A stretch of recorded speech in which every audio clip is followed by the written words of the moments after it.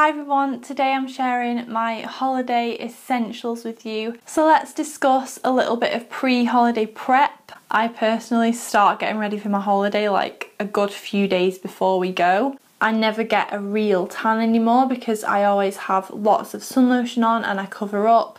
But I am a light skinned girl and I do like to have a bit of a glow and the first step in my body tanning routine is always exfoliation.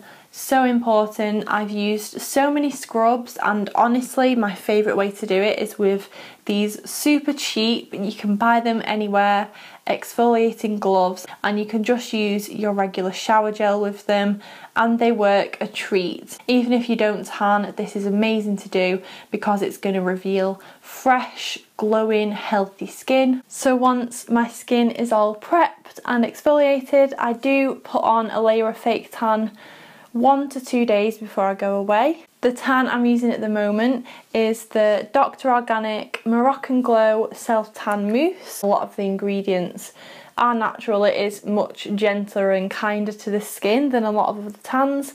It's not drying at all on my skin and it is vegan and cruelty free. It never feels sticky, it dries really quickly, I've not noticed any transfer. The only thing that I dislike about it is it's white. So I wouldn't recommend this for beginners. So you can't see where you've put it. That's my only negative and I know for some people that's going to be a deal breaker but for me I love the formula and I love that it's vegan so I will continue to use this. It gives a really nice colour, this is medium and more than enough colour I need for my skin. Whereas if you do have a more olive complexion and you want a tan or if you love that super bronzed like you've been in Barbados for a month look then they do have a darker version as well.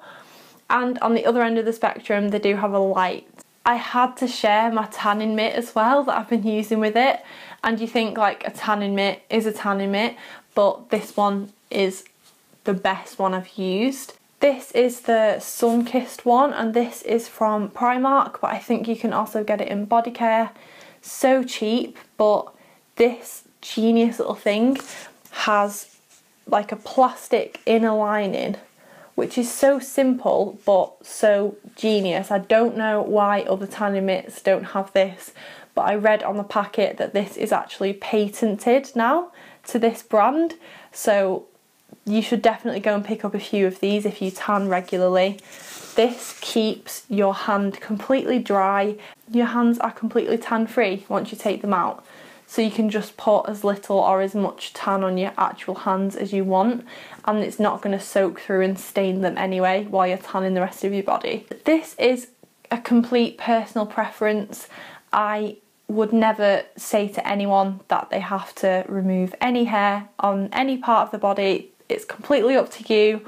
I personally prefer to shave I do enjoy a Brazilian wax, I'm not gonna lie, but those things are expensive because they're very specialist. I've just been using a regular razor at home. And with shaving comes the annoying issue of ingrown hairs. After I've shaved, I always use this Cool Fix Targeted Gel Lotion and I've had this tiny little bottle for like a year and I use it several times a week every single time I shave my bikini line and it works. It works so well. I've never had an ingrown hair since using this. On my face this summer I've been using the Soap and Glory Make Yourself Youthful Sun Shield Super Fluid. This is a blogger favourite and I can definitely see why. It's really lightweight, it goes perfect under makeup, it doesn't feel greasy, it sets, it's not too greasy or oily throughout the day. When there's formulas like this that are so easy to apply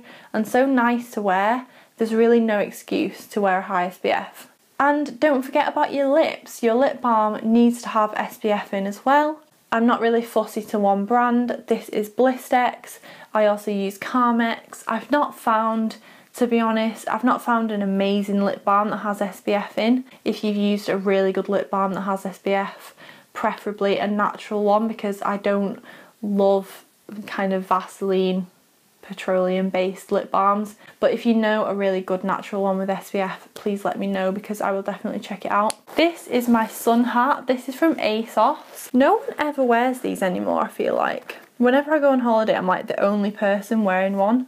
But I personally love them. I think once you've got like big sunglasses on and like a nice little jumpsuit or a little dress or anything, I think they actually look quite cute. They cover your whole head and they also cover you if like a lot of people you don't put enough sun cream around these areas like the back of your neck and your ears and everything. Another thing I love to cover up with is my kimono and you will have seen this in a couple of videos.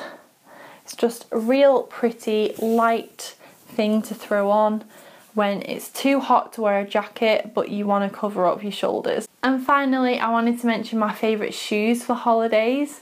And this is mainly for the holidays where you're exploring because you'll probably be doing a lot of walking especially if you're staying in a big city. And I wore my black Converse every single day. And I wore these all day. And in my opinion they're one of the most comfortable pairs of shoes you could wear. They're so well made and because it's a canvas material it's very light. Give this video a thumbs up if you found it helpful and let me know what your holiday essentials are in the comments down below. I'd love to read your recommendations. If you're new, please subscribe. I post Wednesday, Friday and Sunday a new beauty and lifestyle video three times a week.